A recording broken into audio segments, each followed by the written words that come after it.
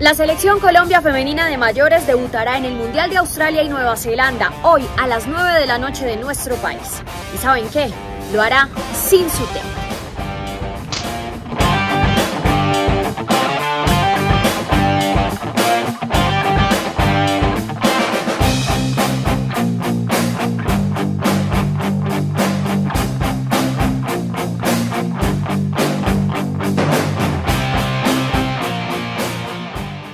Y es que como les parece que a Nelson Abadía lo expulsaron en la final de la Copa América ante Brasil. Resulta que esa sanción solamente se puede pagar en partidos oficiales. Y no es una fecha, son dos. O sea que tampoco va a dirigir en el próximo juego ante Alemania. Alemania que le ganó 6 a 0 a Marruecos. Dios mío. Esta selección ha ido cautivando a la afición futbolística del país y eso es por lo que ellas están haciendo en la cancha.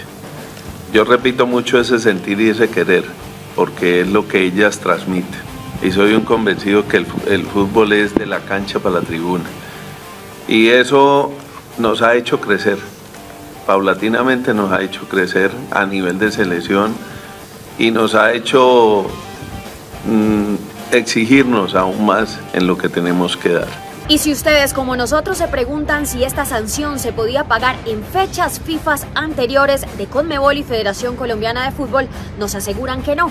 Lo que no nos dejan claro es si estas sanciones eran o no apelables. Al Mundial no venimos a participar por participar. En Federación Colombiana de Fútbol aseguran que hicieron todo el proceso para evitar la ausencia del profe Abadía en estas dos primeras fechas, pero que no hubo nada que hacer. Nelson Abadía entonces dará las indicaciones desde la tribuna. En la raya estará su asistente técnico Angelo Marsiglia, que ha tenido experiencia con el fútbol femenino en las selecciones del Valle. También ha estado en las selecciones Colombia sub-17 y sub-20 y trabajó en el América de Cali. Estoy plenamente convencido, ni siquiera creo, plenamente convencido que es las 23 jugadoras mejores de nuestro país actualmente. Yo soy un convencido que selección es el momento. Y estas jugadoras tienen un momento brillante, un momento muy bueno a nivel de sus equipos, las que están en Europa, en Brasil, las que están en Colombia y ahí escogimos. Y no, nosotros ya tenemos claridad y el grupo también tiene la claridad absoluta de lo que tenemos y de lo que podemos lograr. Colombia podría formar con Catalina Pérez en el arco, las laterales Manuela Vanegas y Daniela Caracas, las centrales Daniela Arias y Yorelín Carabalí, que al parecer ya se recuperó del cuadro gripal. El doble 5 tiene una duda, si iría eh, Lorena Bedoya o Marcela Reyes, acompañada de la capitana Daniela Montoya.